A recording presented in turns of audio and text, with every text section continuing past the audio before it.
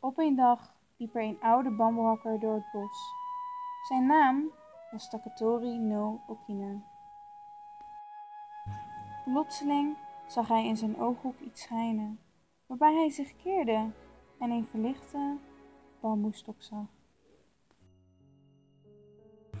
Hij liep richting de bamboestok en trof daar een meisje ter grootte van zijn hand aan.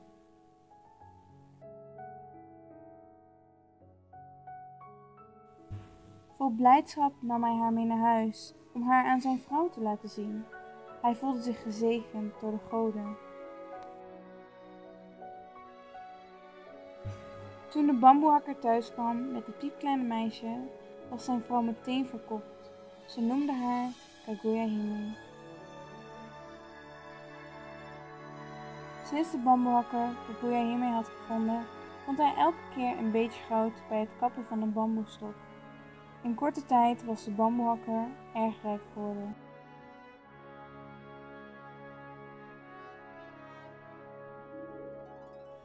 Ze kochten een nieuw huis en vestigden zich in een grote stad.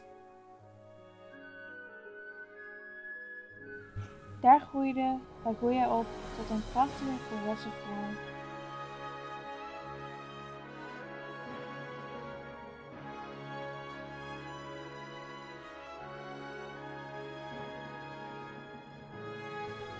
Haar schoonheid trok veel mannen aan van over het hele land. Niet veel later kwamen er vijf prinsen naar de bamboehakker om de hand te vragen van Kaguya Hime.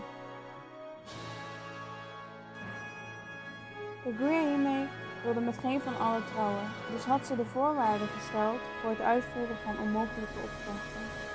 Uiteindelijk faalden alle vijf de mannen.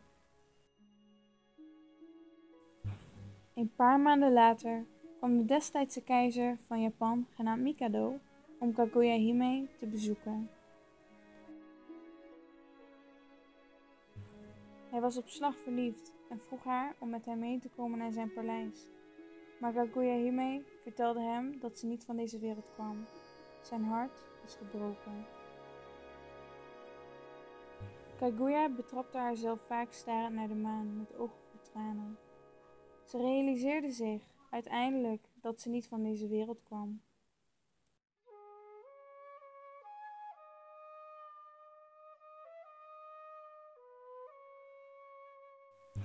Niet lang daarna kwamen haar ouders erachter dat Kaguya van de maan kwam. En dat het goud dat ze hadden gevonden was om Kaguya hiermee te onderhouden. Wanneer de tijd was gekomen voor Kaguya Hime om terug te keren naar de maan, stuurde Mikado een heel leger om Kaguya Hime te beschermen tegen de maanwezens. Mikado, de bamboehakker, zijn vrouw en het leger werden verblind door het licht van de maan. Ze waren machteloos.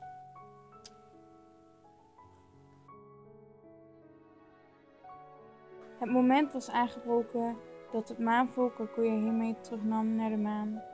Ze kreeg een verenmantel om, waardoor ze alles vergat. En zo liet ze alles achter.